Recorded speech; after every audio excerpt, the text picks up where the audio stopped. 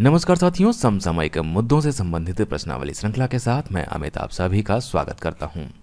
आज है एक मई 2020 और आज के हमारे प्रश्न किन मुद्दों पर आधारित हैं।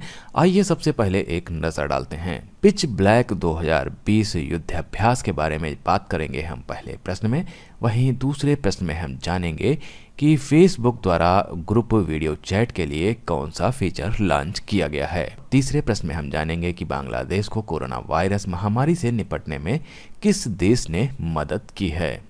चौथा प्रश्न आधारित होगा जगन्ना विद्या दिवेना योजना पर। वहीं पाँचवें प्रश्न में हम जानेंगे कि विश्व मुक्केबाजी चैंपियनशिप 2021 का आयोजन किस देश में किया जाएगा?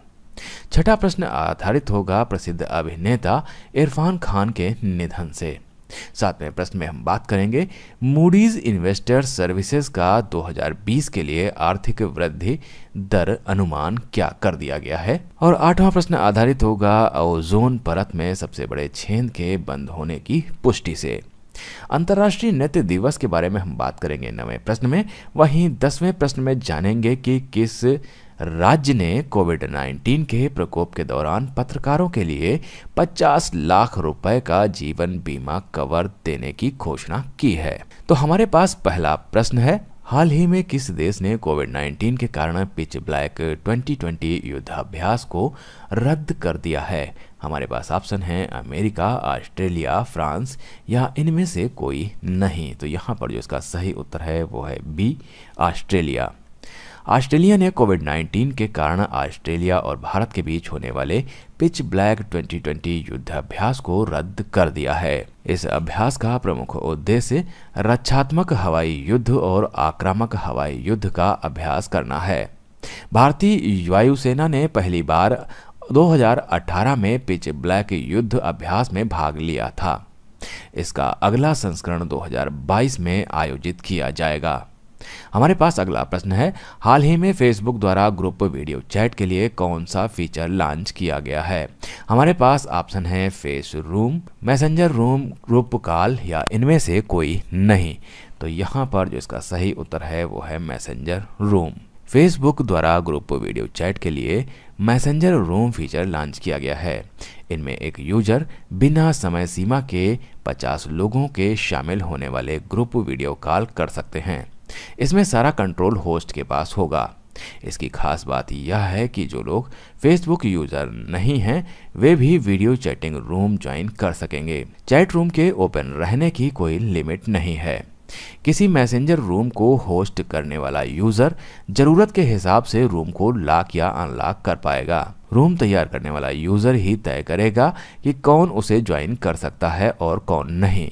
इसके अलावा होस्ट यूज़र के पास कभी किसी पार्टिसिपेंट्स को रूम से रिमूव करने का ऑप्शन भी होगा। हमारे पास अगला प्रश्न है, हाल ही में किस देश ने बांग्लादेश को कोरोना वायरस महामारी से निपटने में मदद करते हुए मलेरिया रोधी हाइड्रोक्सी क्लोरोक्विन की एक लाख गोलियाँ और पचास हज़ार सर्जिकल दस्ताने दिए हैं? हमारे पास ऑप्शन है अमेरिका, भारत, चीन या ऑस्ट्रेलिया। तो यहाँ पर जिसका सही उत्तर है, वो है बी, भारत। भारत ने बांग्लादेश को कोरोना वायरस महामारी से निपटने में मदद करते हुए मलेरिया रोधी हाइड्रोक्सी क्लोरोक्विन की एक लाख गोलियाँ और पचास हज़ार सर्जिकल दस्ताने दिए हैं। बांग्लादेश में अब तक कोरोना वायरस संक्रमण के करीब पाँच हज़ार मामले सामने आए हैं। और 140 लोगों की मौत हुई है। हमारे पास अगला प्रश्न है, किस राज्य सरकार द्वारा जगन्ना विद्या देवीना योजना आरंभ की गई है? हमारे पास ऑप्शन है, आंध्र प्रदेश, केरल, कर्नाटका, या इनमें से कोई नहीं। तो इसका जो सही उत्तर है, वो है आंध्र प्रदेश। आंध्र प्रदेश राज्य सरकार द्वारा जगन्ना विद्या देवीना योजना प्रारंभ की गई है। इस योजना के तहत आगामी शैक्षणिक सत्र 2020-21 में शुल्क प्रतिपूर्ति महाविद्यालयों के खातों के स्थान पर विद्यार्थी के अभिभावकों के खातों में डाली जाएगी। राज्य सरकार द्वारा ITI, BTech, B pharma MBA, MCA और बीएड पाठ्यक्रमों के लिए शुल्क प्रतिपूर्ति प्रदान करेगी। जगन्ना विद्या दिवेना योजना के माध्यम से योग्य उम्मीदवारों को पंद्रह हज़ार रुपये से बीस हज़ार रुपये तक की धनराशि दी जाएगी। हमारे पास अगला प्रश्न है। हाल ही में विश्व मुक्केबाजी चैंपियनशिप 2021 का आयोजन अब भारत में ना होकर कहाँ किया जाएगा? हमारे पास ऑप्शन है चीन, स्पेन, सार्बिया या इनमें से कोई नहीं। तो यहाँ पर जो इसका सही उत्तर है वो है सी, सार्बिया। विश्व मुक्केबाजी चैंपियनशिप 2021 का आयोजन अब भारत में न होकर सार्बिया के बेलग्रेड शहर में किया जाएगा। अंतर्राष्ट्रीय मुक्केबाजी संघ ने वर्ष 2017 में भारत के साथ किए हस्ताक्षरित समझौते को रद्द कर दिया है। इसके अलावा भारत को 500 यूएस डॉलर तथा रद्दीकरण शुल्क भी देना होगा। भारत मुक्केबाजी संघ के अध्यक्ष अजय सिंह ने संघ द्वारा भुगतान में होने वाली देरी को स्वीकार किया है। आयोजन के लिए चार मिलियन अमेरिकी डॉलर का भुगतान 2 दिसंबर तक किया जाना है।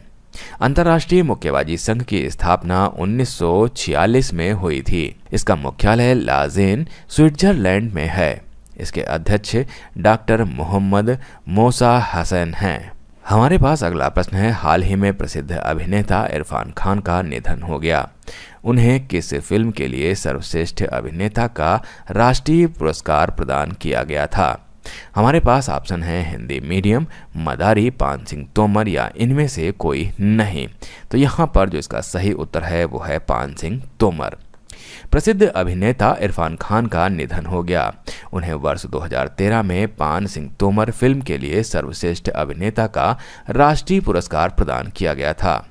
इरफान खान का जन्म 7 जनवरी उन्नीस को जयपुर में हुआ। इनका पूरा नाम साहेबजादे इरफान अली खान था। इन्हें न्यूरो एंड्रोक्राइन कैंसर था।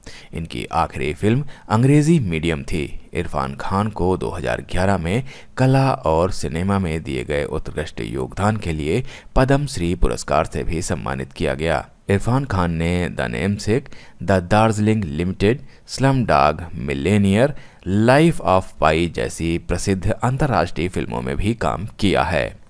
हमारे पास अगला प्रश्न है मूडीज इन्वेस्टर सर्विसेज़ ने 2020 के लिए भारत की आर्थिक वृद्धि दर के अनुमान को घटाकर कितने फ़ीसदी कर दिया है?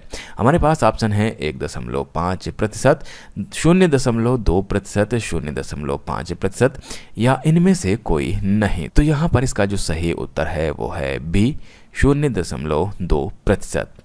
मूडीज इन्वेस्टर सर्विसेज़ ने 2020 के लिए भारत के आर्थिक वृद्धि दर के अनुमान को घटाकर शून्य दशमलव दो प्रतिशत कर दिया है। मार्च में 2020 के लिए दो दशमलव पाँच फ़ीसदी वृद्धि दर रहने की उम्मीद जताई थी। मूडीज ने 2021 में वृद्धि दर छह दशमलव दो प्रतिशत रहने का अनुमान जताया है।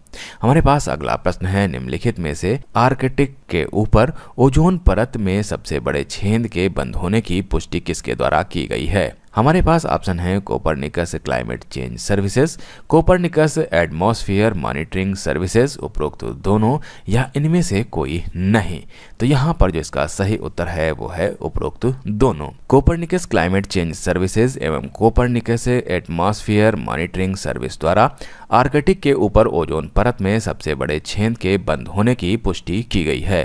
यह छिद्र आर्कटिक के ऊपर एक मिलियन वर्ग किलोमीटर में फैला हुआ था।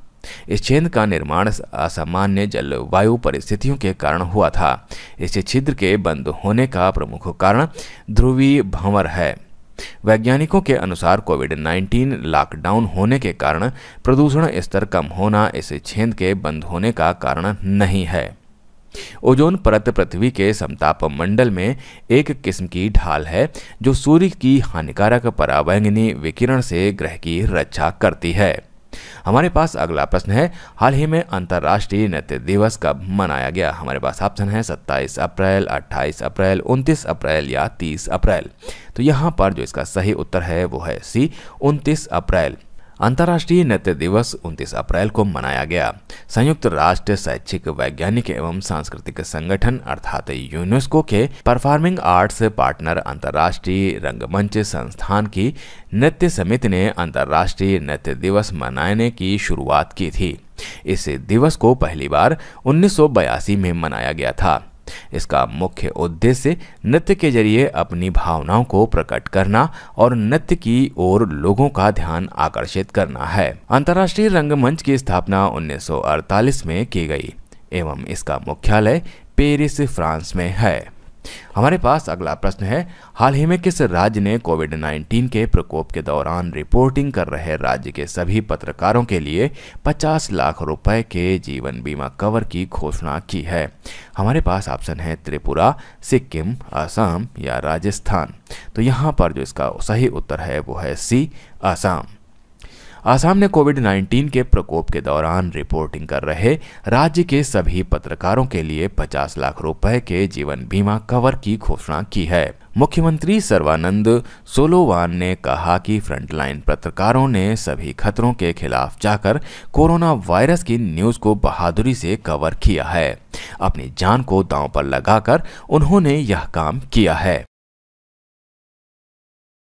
हमारे पास पहला प्रश्न है हाल ही में किसे कतर में भारत के अगले राजदूत के रूप में नियुक्त किया गया है। हमारे पास ऑप्शन है पीयूष श्रीवास्तव, पी कुमारन, दीपक मित्तल या इनमें से कोई नहीं।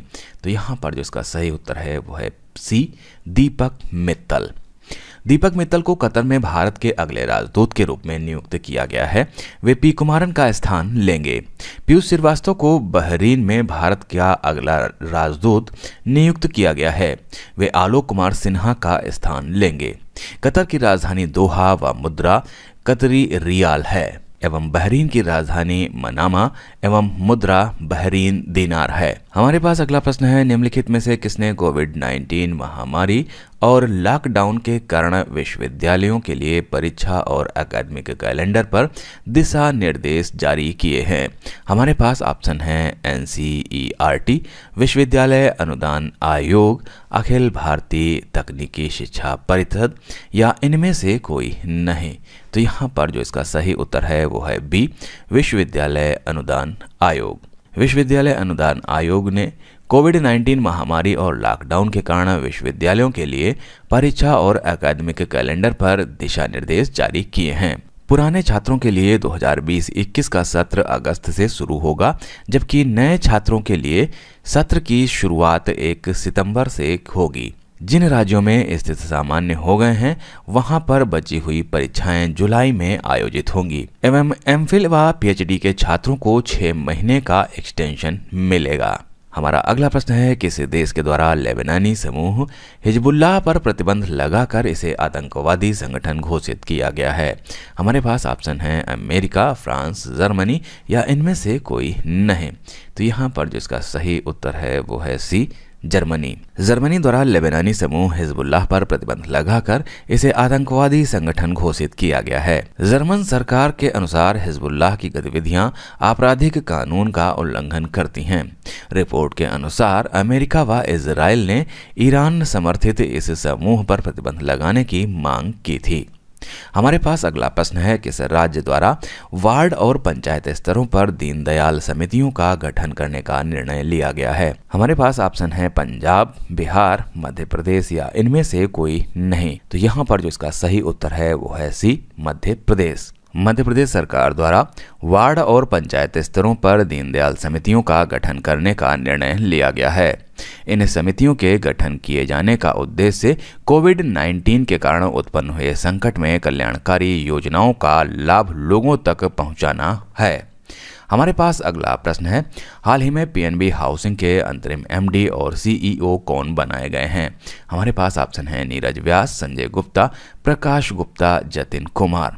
तो यहाँ पर जो इसका सही उत्तर है, वो है ए नीरज व्यास। नीरज व्यास को पीएनबी हाउसिंग का अंतरिम एमडी और सीईओ बनाया गया है। वे वर्तमान में कंपनी के बोर्ड में स्वतंत्र निदेशक के रूप में कार्यरत थे। उन्होंने संजय गुप्ता का स्थान लिया है। हमारे पास अगला प्रश्न है, हाल ही में किस भारतीय प्रौद्योगिकी संस्थान के शोधकर्ताओं ने भारत में कोविड 19 के प्रसार की भविष्यवाणी करने के लिए एक वेब आधारित डैशबोर्ड प्रकृति विकसित किया है? हमारे पास ऑप्शन है, IIT Madras, IIT Kanpur, IIT Delhi या आईआईटी खड़गपुर। तो यहाँ पर इसका जो सही उत्तर है, वो है C, IIT Delhi. IIT Delhi के शोधकर्ताओं ने भारत में कोविड 19 के प्रसार की भविष्यवाणी करने के लिए एक वेब आधारित डैशबोर्ड प्रकृति विकसित किया है। प्रकृति का पूरा नाम prediction and assessment of corona infection and transmission in India है। यह वेब आधारित डैशबोर्ड भारत में तीन सप्ताह की अवधि तक कोविड 19 मामलों की राज्य एवं जिलेवार विस्तृत भविष्यवाणियाँ प्रदान करता है। हमारे पास अगला प्रश्न है, संयुक्त राष्ट्र में भारत का स्थायी प्रतिनिधि हाल ही में किसे नियुक्त किया गया? हमारे पास ऑप्शन है टी एस तिरुमूर्ति, दीपक मित्तल, पीयूष श्रीवास्तव या अनुरंजन मेहरा। तो यहाँ पर जो इसका सही उत्तर है, वो है T S Tirumurti T S Tirumurti को संयुक्त राष्ट्र में भारत का स्थायी प्रतिनिधि नियुक्त किया गया है। वे न्यूयॉर्क में संयुक्त राष्ट्र में भारत के स्थायी प्रतिनिधि के रूप में नियुक्त सैयद कबरुद्दीन का स्थान लेंगे। हमारे पास अगला प्रश्न है, निम्नलिखित में से किस राज्य के द्वारा 30 जून तक सामूहिक सभा या कार्यक्रम पर प्रतिबंध लगा दिया गया है? हमारे पास ऑप्शन है मध्य प्रदेश, उत्तर प्रदेश, बिहार या राजस्थान। तो यहाँ पर जो इसका सही उत्तर है, वो है बी, उत्तर प्रदेश। उत्तर प्रदेश राज्य सरकार के द्वारा 30 जून तक सामूहिक सभा या कार्यक्रम पर प्रतिबंध लगा दिया गया है। इसके बाद परिस्थितियों के अनुसार निर्णय लिया जाएगा। रमज़ान माह होने के कारण मुस्लिम समुदाय के धर्म गुरुओं ने घर में ही रहकर नमाज़ पढ़ने की अपील की है। हमारे पास अगला प्रश्न है, national agriculture cooperative marketing federation of India किस सरकारी योजना के तहत छह लाख मेट्रिक टन दालों का वितरण करेगा? हमारे पास ऑप्शन है अन्नपूर्णा योजना, अंत्योदय अन्न योजना, प्रधानमंत्री गरीब कल्याण अन्न योजना, या इनमें से कोई नहीं। तो यहाँ पर जो इसका सही उत्तर है, वो है प्रधानमंत्री गरीब कल्याण अन्न योजना। National agriculture cooperative marketing federation of India प्रधानमंत्री गरीब कल्याण अन्न योजना के तहत छह लाख मीट्रिक टन दाल का वितरण करेगा। प्रधानमंत्री गरीब कल्याण अन्न योजना के तहत तीन महीनों तक लगभग 20 करोड़ परिवारों को एक एक किलोग्राम दाल देने के लिए व्यापक स्तर पर सघन अभियान चलाया जा रहा है। इस अभियान के तहत साबुत दाल गोदाम से उठाई जाती है और फिर इसे साफ़ करके राज्यों को वितरण के लिए दे दिया जाता है। हमारा अगला प्रश्न है कि सर, राज्य सरकार ने कोविड 19 से ठीक हुए प्रत्येक रोगी को दो हज़ार रुपये देने की घोषणा की है। हमारे पास ऑप्शन है आंध्र प्रदेश, तेलंगाना, कर्नाटक या छत्तीसगढ़।